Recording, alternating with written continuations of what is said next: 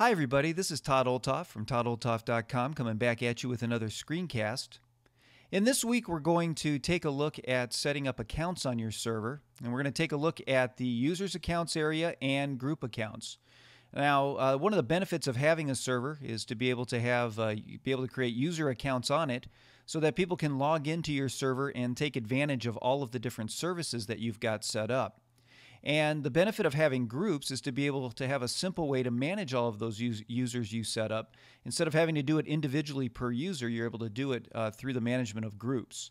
And so I'm going to cover how to set up both of these and the various options that are available to you. Now, this is the user's interface here, and you can see that I've got uh, one user already set up here, and this is just my local user. This is the user that I created when I set up uh, my account on this particular Mac.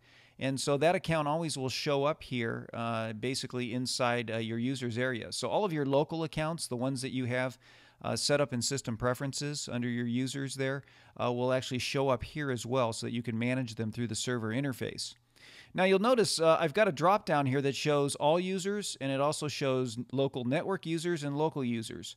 Now local users, like I said, you notice the thing disappears uh, because it's showing me the local users on this machine. Again, these are accounts that are machine specific, not uh, accounts that are server specific. And uh, the difference between that is, is again, your local users can only log into this particular machine. Uh, they can't log into the other Macs, but your network users can log in from any uh, computer on your network and use their credentials to get in uh, to your network that way. And that's the difference between these local network users, which if I click that, you'll see I have nobody there because I haven't created any users yet. Now, the local network users, in order to create this, if you haven't watched any previous screencasts, the only way that you get this option available is if you set up an open directory. The Open Directory uh, is uh, is what allows you to have the network accounts in the first place, and so you need to have this service running if you're going to uh, set up local network users uh, in, in order to make that happen. So that's how you need to do that. Uh, so anyway, so let's go back to all users so you can see this here. And uh, I'm just going to go in and show you what a uh, local user account looks like on here, and then we'll create a network one. So if you just uh, double click on the user here, you're taken into their screen. Uh, again, you can see you've got the full name, you've got their account name, uh, any email address information you want to put in there. And see, right now I don't have any because I haven't set that up. then you have this option to allow the user to log in. So in other words, they can log into the computer and they have the option to administer administer this server. So it can be set up as an administer administer. And so I just want to go ahead and check that.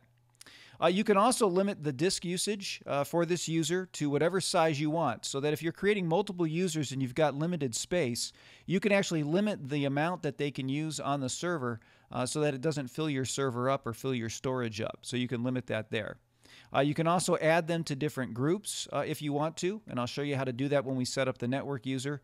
Uh, you can put in some keywords in here too, so that if you've got a, a lot of different users and you want to do kind of a quick search for them, you can put in some keywords so that you know who they are. Maybe they're managers if you're in a business, or maybe they're a part of a certain department. You can put that information in there, and then you can put any notes that you want to on, on the user as well. So I'm just going to click OK and let that go.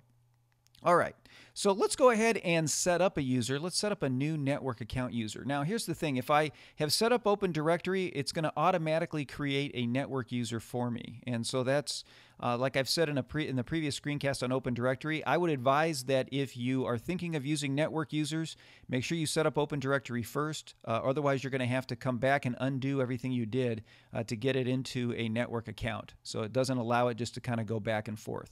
So let's go ahead and we're going to create a new user here. And so I get the blank screen here to create a new user. So I'm just going to give him a name. So let's say his name's John Doe. All right. And so there's his uh, account name. I'm going to actually put his short name down to John D.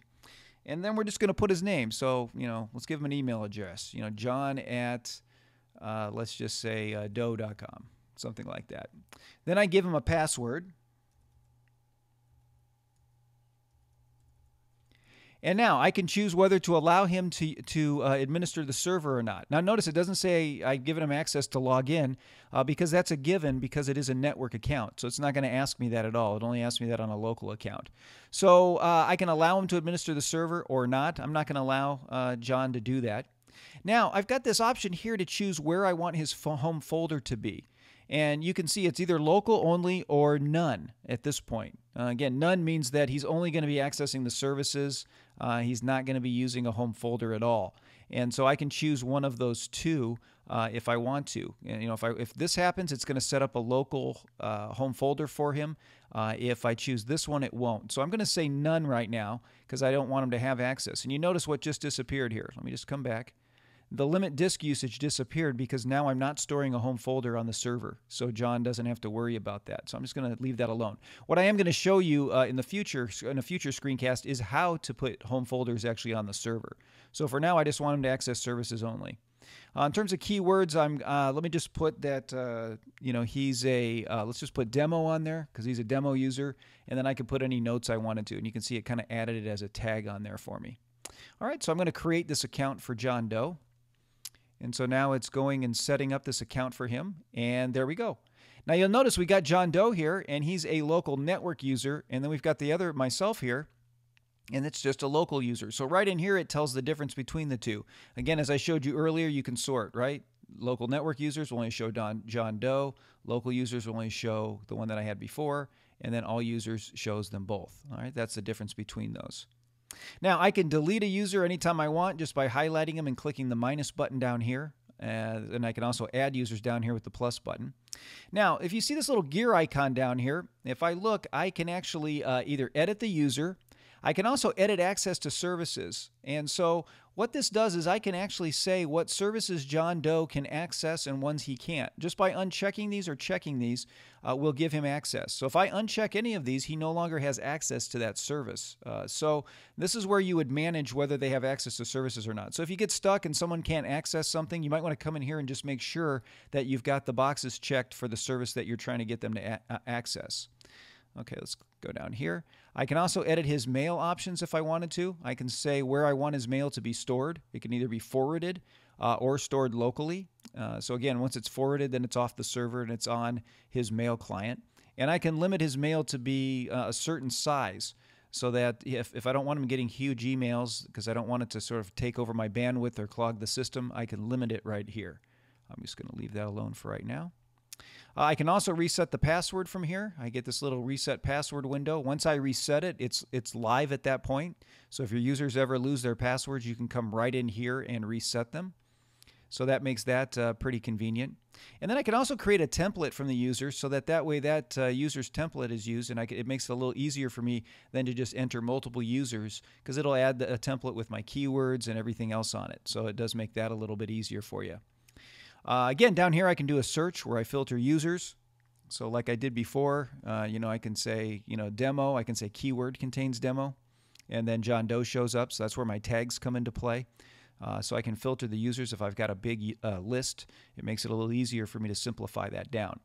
So that gives you an idea how those users work. Again, with this local network account, John Doe can log into any computer uh, on my network then uh, using that information, as long as he's on my local network. Let's go over to groups now. Uh, now groups has the exact same setup. I can do local groups, which I have none. I can do local network groups or all groups, and it will show up here. Now, these groups basically allow me to manage certain users.